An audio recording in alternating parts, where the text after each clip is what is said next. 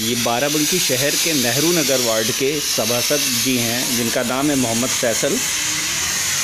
ये कांग्रेस के सिपाही हैं, जिस तरीके से आदरणीय प्रियंका जी और आदरणीय प्रदेश अध्यक्ष अजय कुमार लल्लू जी के निर्देशानुसार कांग्रेस के सिपाही आम जनता के बीच जाके कोई भी भूखा ना रहे और सभी स्वस्थ रहें।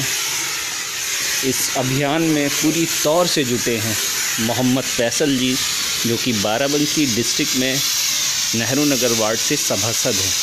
बहुत ही सराहनीय और दूसरों के लिए प्रेरणा का काम कर रहे हैं।